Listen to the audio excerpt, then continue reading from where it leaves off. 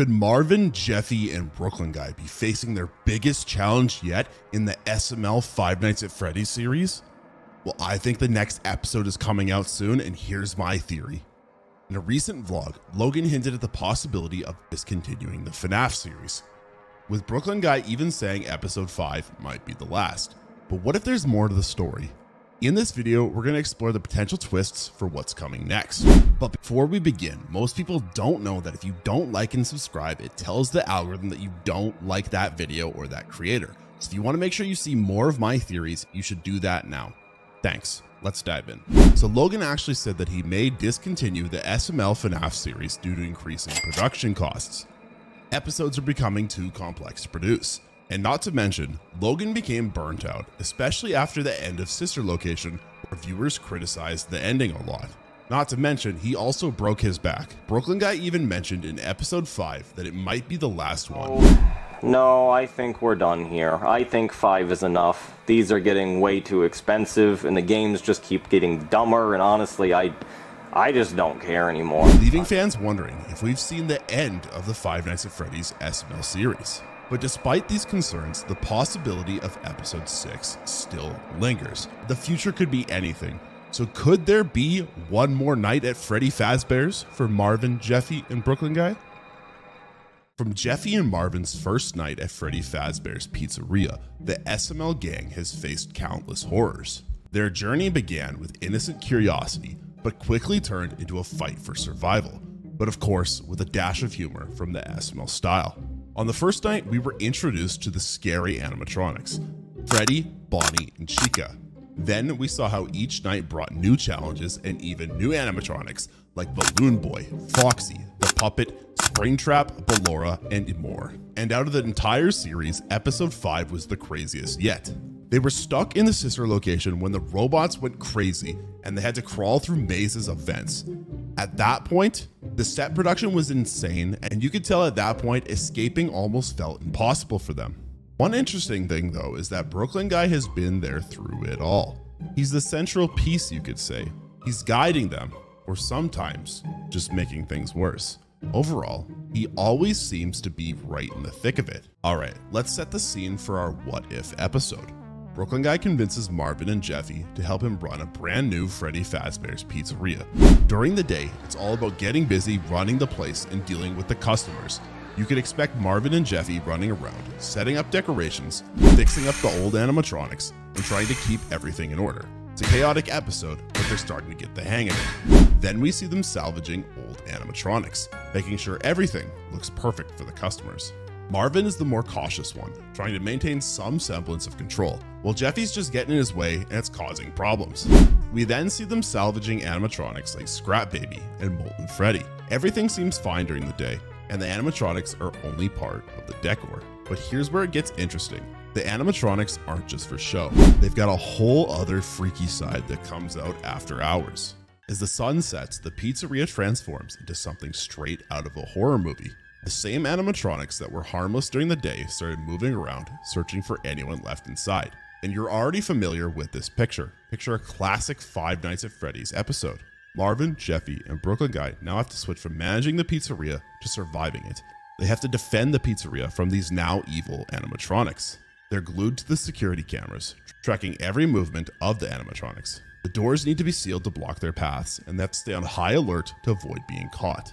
We see each animatronic has its own creepy but funny behavior. Scrap Baby might sneak up when they're not looking, or Molten Freddy could be crawling through the vents. It's a constant game of cat and mouse. As the episode progresses, tension builds as they try to make it through the night. And just when things couldn't get any crazier, Junior unexpectedly jumps into the mix. We would have the trio hiding from an animatronic, hearts racing, when suddenly we hear a hey guys. Junior pops in, giving them the scare of their lives, thinking that an animatronic monster has come up to kill them. But no, it's just Junior causing a problem. Alright, but now it's time to dive into the juicy stuff. Key plot points and some wild speculation I have. Imagine Marvin and Jeffy stumbling upon hidden rooms filled with old blueprints and creepy artifacts. These discoveries could reveal dark secrets about the animatronics or even the pizzeria's twisted history in the SML lore. Now here's a twist. Could there be a deeper connection to Mr. Winkle and his sinister plans? Maybe they uncover old recordings or documents that link Mr. Winkle to the creation of the animatronics or some other evil plot. And what about Brooklyn Guy? He always seems to have a few surprises up his sleeve. Could he be hiding something from Marvin and Jeffy? Perhaps he knows more about the pizzeria's dark past than he's letting on. And why is Brooklyn Guy always pulling Marvin and Jeffy into these dangerous situations? Is it just for the thrill, or is there something deeper, something more sinister? Maybe he has a personal connection to the pizzeria that he's never talked about. Or what if Brooklyn Guy's family was involved in the original creation of these animatronics and he's trying to uncover the truth himself? But Brooklyn Guy might be using Marvin and Jeffy as pawns to help him piece together the pizzeria's dark history without revealing his true motives. His knowledge and insider information could be the reason they've managed to survive this long, but also why they keep getting dragged back into the danger. But what if Brooklyn Guy had another reason for keeping Marvin and Jeffy around? Maybe he just really, really hates being scared alone. And let's not forget the new animatronics entering the mix, each with its own unique behavior and backstory, adding even more challenges for our crew. I mean, we did see how SML really went out of its way with adding unique characters adapted from the FNAF series to make these videos awesome. We could have Scrap Baby with her twisted appearance and claw hand. She could be revealed as a failed experiment, creating more mystery in the story, and her behavior unpredictable, making her the number one threat. Then we've got Molten Freddy, a fusion of Ennard's endoskeleton and parts of other animatronics. He uses the pizzeria's vent to move around, which makes him pretty hard to track. Another headache for our SML crew.